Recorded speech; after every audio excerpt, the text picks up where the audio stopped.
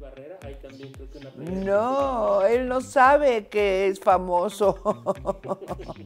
Hola, ¿qué tal? Bienvenidos todos al noticiero de las tres por el canal de las estrellas. Fíjate que lo mío es totalmente diferente. Yo quería ser doctora, me encanta la medicina. Tengo la vocación porque mi padre, mi abuelo, mi tío, toda la familia son médicos. Entonces yo estudié college en Estados Unidos y tenía yo que rehabilitar re- este, mis estudios para entrar a la universidad y me tardaban seis meses en revalidar. dar. Y un día me dice una amiga, oye, acompáñame a Canal 8 que están haciendo un casting para una chica de Notimex, que es el noticiero. Eh, No, ¿y para qué quieres que te acompañe? No, pues nada más te sientas ahí y ya. Bueno, pues la acompañé, que para eso, y me agarraron y me hicieron pruebas. A ver, usted, o tú, haz esto, haz lo otro, improvisa un programa de- de cocina, de mujeres, etcétera. Y pues este resultó que me escogieron a mí. El lunes siguiente me hablan por teléfono de Notimex y me dicen que a la que escogieron fue a mí. Y pues yo me quedé perpleja porque me dijeron, ve a hablar con el director de Notimex. Yo hablaba cuatro idiomas ya en ese momento, que estoy segura que eso me ayudó. Y pues fui y le dije, licenciado, yo no sé nada de periodismo, yo no sé nada de televisión. Me decía, no importa, no importa, aquí te voy a poner un maestro para que te enseñe. Licenciado, pero yo no sé nada de nada, no importa, no importa. Y total, me dejó tres meses con un maestro de la Septién García, que era la única escuela de periodismo que había en México. Y este, y pues eh, anduve con, me contrató y me dijo, pues no importa, aunque te vayas dentro de seis meses, porque le dije que en seis meses entraba yo a, un- medicina. Y me dijo, no importa, todo no importaba, según él. Y pues mira, según él tuvo razón, porque esos seis meses se convirtieron en 50 años que estuve yo trabajando en la tele. Me quitaron por una tontería, porque una persona de, de los directivos, Bernardo Gómez, dijo que en Canal 2 eh, solo quería eh, chicas jóvenes, de cara joven. Y pues adiós Lola de Canal 2, porque ya nos habían pasado a Canal 2, a, las, primero al mediodía, luego en la noche.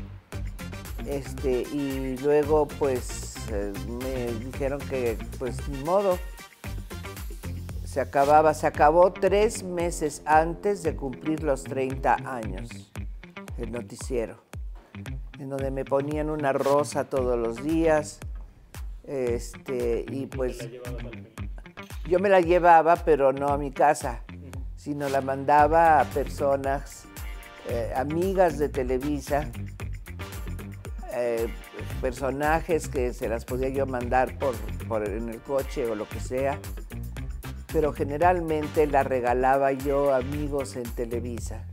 ¿Sabes qué se quedó la última? Emilio Azcarragallán. Sí, él se quedó la última. Es que los hombres son muy machistas y creen que por ser hombres tienen todos los derechos y pues no es así, no es así. Tristemente a las mujeres siempre nos han denigrado, este, nos han hecho el fuchi. Este, muy mal, muy mal. Dar una noticia de una guerra es terrible, es durísimo. Como darle a un pariente la noticia de que su pariente no tiene salvación. Entonces, sí, yo creo que para un doctor dar esa noticia los, los deja marcados, marcados. Muy mal. Sí. Yo si me preguntas qué es la noticia que más quisiera que se diera, es que se acaban las guerras, que ya no hay guerras. Esa es la noticia que más quisiera que se diera, que se publicara, que, que se lograra. No más guerras, porque se me hacen tan crueles y tan inútiles y tan feas, porque todas son producto de, de la, ¿cómo te diré?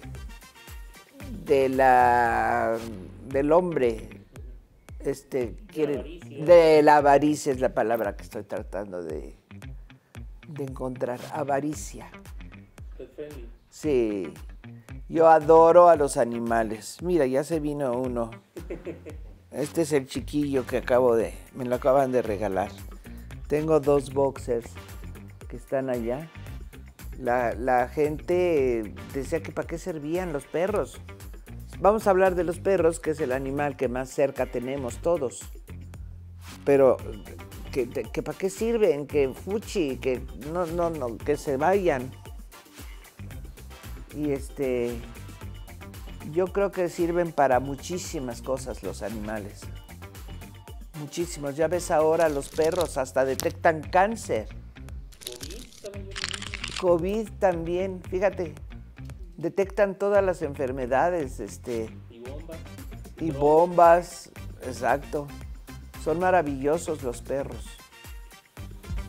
En Far, Texas, elementos policíacos capturaron a un mexicano que conducía un tráiler cargado de metanfetaminas, drogas altamente adictivas y dañinas que procedían de Reynosa, Tamaulipas.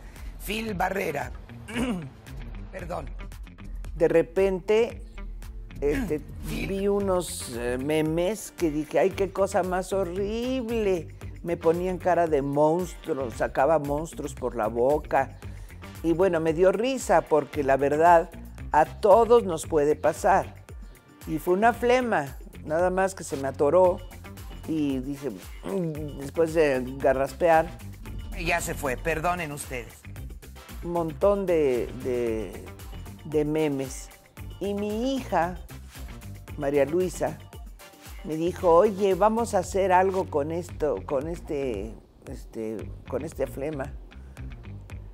Porque solo por ayudar ya empezaba a pasarla mal por la, la- pandemia y por tantas cosas, que es que la economía se vino para abajo y afortunadamente a ella se le ocurrió hacer estas playeras que, este, que tienen mi foto. Y yo cuando me lo planteó le dije, mijita, ¿quién va a comprar una playera de esas? Nadie ya me conoce, muchos jóvenes ni me han visto en la tele. No las vas a vender. Y me dice, ¿cómo no? Ya no eres una persona vieja, eres una persona vintage, vintage. Y pues se lanzó con las playeras y ay tú que pegan. Y hemos, eh, ya tenemos nuestra tienda eh, online y han comprado muchas cosas que produce mi hija. Y pues eso nos ayuda un poquito a la, a la tienda, a solo por ayudar. No, él no sabe que es famoso. él no sabe que es famoso. Este, nunca nos ha- se ha puesto en comunicación con nosotros y le hemos mandado mensajes que nos llame y nunca nos ha hablado, nunca. A mi hija, que es la, la que está metida en redes y en cosas de esas. Yo la verdad no sé mucho de los NFTs. Ahora ya, ya aprendí, pero no soy la experta en, en NFTs y se han vendido algunos.